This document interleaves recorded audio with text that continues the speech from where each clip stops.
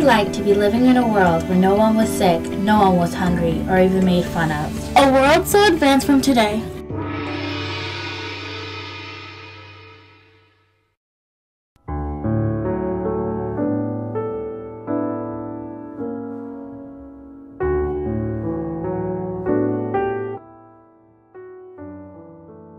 What would it be like to design your own baby? To be able to choose what it'll look like or act like. Detective Rice And Detective Sardanya on the case. In just a few years, Marshall. you will be able to decide what your baby is going to look like. If it's tall or short, sporty or lazy, or if it has blue eyes or brown eyes.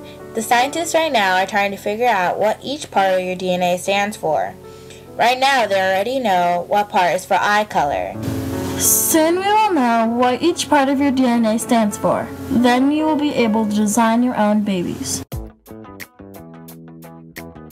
Is designing your babies bad or good? Some people say it is good, some say it is bad. But it could be helpful, like if you find out your baby got cancer, you can take the cancer out and put something else there instead. Is it going against nature to design your own baby? Yes, it is. But isn't most of our medication going against nature too? Designing your babies can be good if you only use them for health problems. Of course, people can go too far, like changing how the baby looks like or acts like. That's going too far.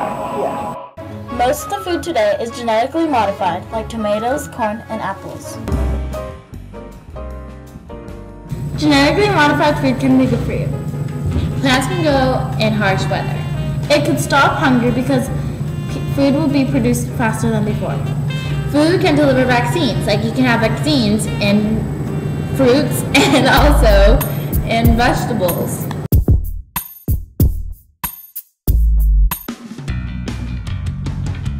Now you know a little about designer babies and genetically modified food. That's all for this case. See you soon.